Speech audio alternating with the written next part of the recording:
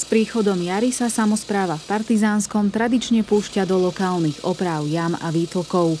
Práce odštartovali v minulom týždni. V priebehu asi zhruba mesiaca chceme opraviť zhruba 1500 m štvorcových týchto závad a prakticky budeme realizovať opravy v každej mestskej časti. Momentálne sme začali centrom. Bude to stať celé zhruba 46 tisíc eur. V rámci centra sa viacero plôch opraví napríklad na Nábrežnej, Družstevnej či Červenej ulici. Na Štrkovci je toho najviac v pláne na Dukelskej, Riečnej a Mojzesovej ulici či na ulici Slobody.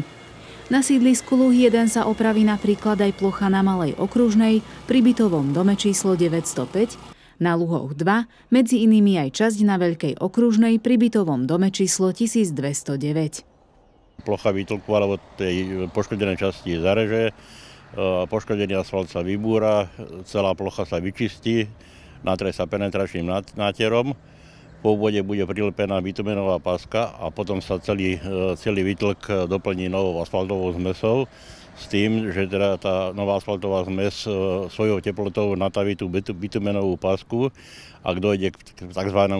prepojeniu, kde bude zamedzený prístup vody. Na komunikáciách, kde práve prebiehajú opravy, je premávka do určitej miery obmedzená.